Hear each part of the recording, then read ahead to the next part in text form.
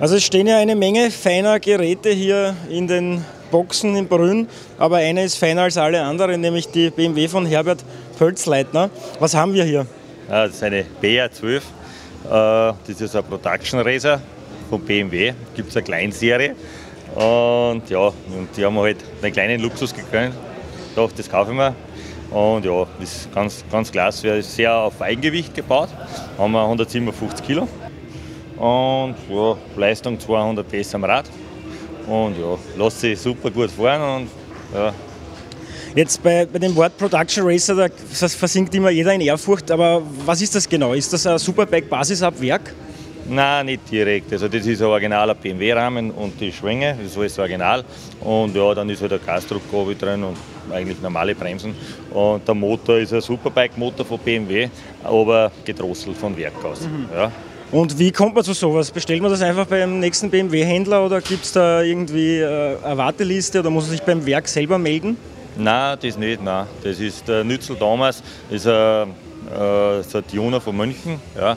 Der hat eine Kooperation mit BMW und der baut die Teile dann so zusammen, ja, im Prinzip. Ja. Aber die Hauptkomponenten kommen alle von BMW. Elektronik, Motor, Fahrgestell und die Schwinge. Ja. Und das mhm. sind ausgesuchte Sachen, also mit möglichst wenig Toleranz, sage ich jetzt einmal. Ja. ja.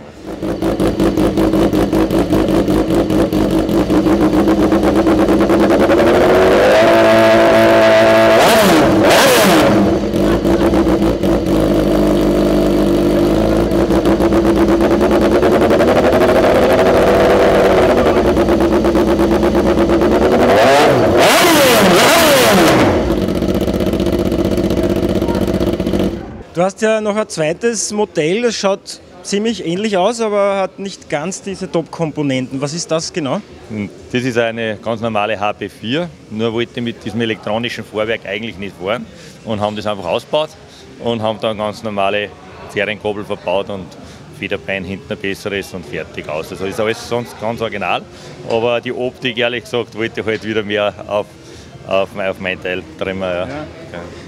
Schaut jetzt noch sehr unversehrt aus, Gott sei Dank.